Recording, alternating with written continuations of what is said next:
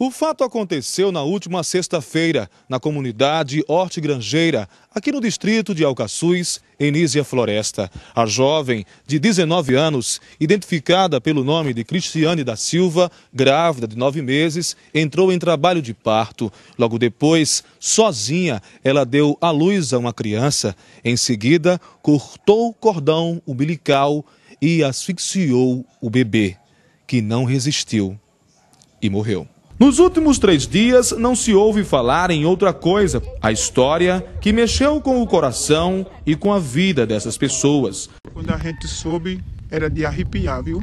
A gente ficando.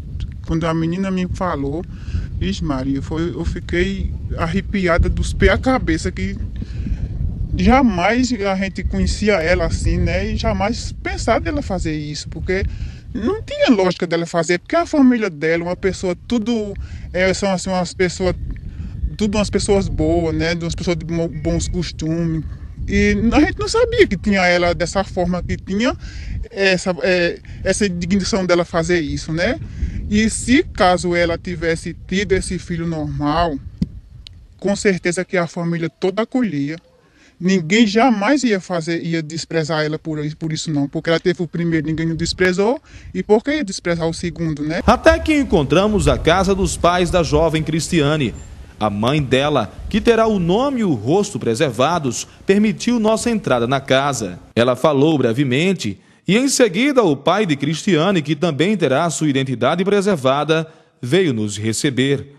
O homem não negou o ocorrido, se mostrou surpreso, Primeiro com a gravidez, depois com o fim trágico de uma história que poderia só trazer alegria. Realmente, eu mesmo não sabia de nada. O senhor não percebeu a gravidez? Nunca, nunca, nunca percebi de, de nada, porque era uma pessoa. Apesar de eu ser uma pessoa, um cara que não, não, não, não mostra nada, mas eu, graças a Deus, não, não falta nada para mim. Entendo. Não falta nada, nada que você pensar eu, graças a Deus, é, meu Jesus é muito poderoso. Ele, tudo que eu tenho, eu, se eu quiser comprar um carro, compro. Se eu pesar, apesar de você chegar sempre aqui, pesar, eu não preciso de nada.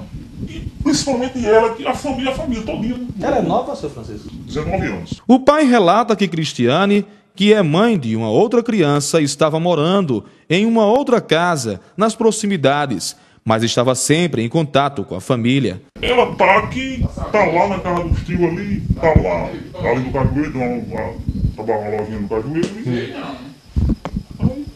Eu pego ela lá, trago ela para cá, passa 15 dias lá, passa 15 dias aqui. Cristiane estava hospitalizada, mas agora encontra-se na casa de familiares. A criança foi sepultada na manhã do sábado, mas até agora não houve nenhuma manifestação policial para apurar o ocorrido.